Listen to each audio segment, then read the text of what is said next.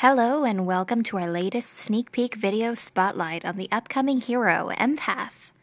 This crafty support hero may leave you bewildered as you find yourself closer than ever, or maybe even inside your allies.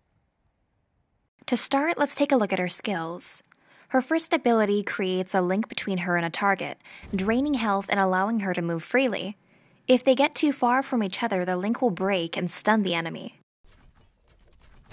This is her only offensive skill that deals direct damage.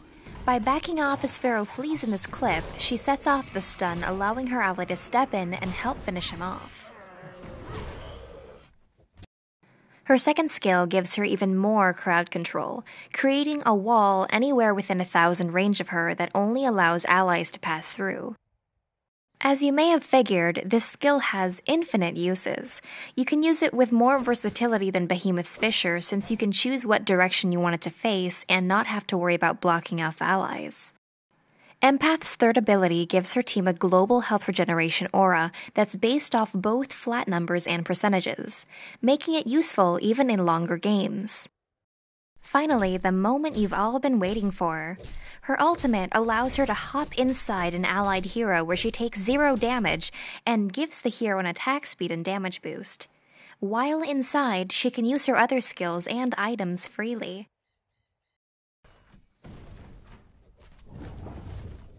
Giving Empath an incredible amount of survivability, she's able to avoid dying to damage over time spells by simply hiding in the body of a nearby teammate.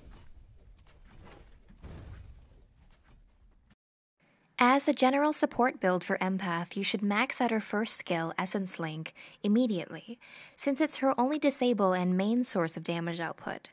For Illusory Veil, the casting range and length of the actual wall stays the same at all levels, so I would suggest getting one rank of it and going for the health regeneration aura to better assist your team.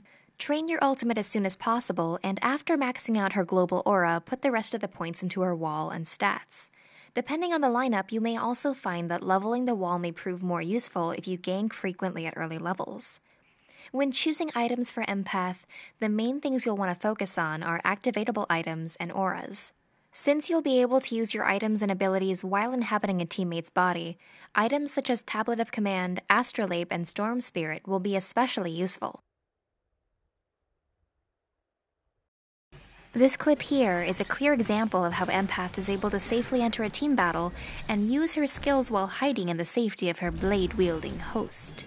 While inside an ally, her life drain ability will heal both her and Swiftblade, making for some epic action.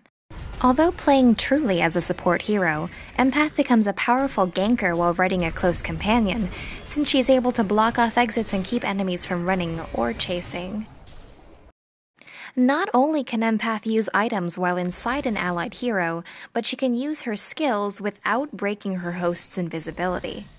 While using her ultimate, she's able to use a fifth skill to give a short movement speed boost every 5 seconds and help guide her ally to a kill. Since Empath doesn't take damage while inside an allied hero, she can effectively use items such as Astrolabe safely from the very center of a team battle to get the full benefit of the item. Do keep in mind that items which give you attack damage, speed, health, armor, etc. will be virtually useless while using your ultimate, so focus on getting items that you can use from the safety of an ally's meaty innards. Alright, again, we'd like to thank everyone for watching, and I hope you've gotten some insight on the skills and playstyle of the new hero. You'll soon be able to say that you've been inside your good friends and teammates.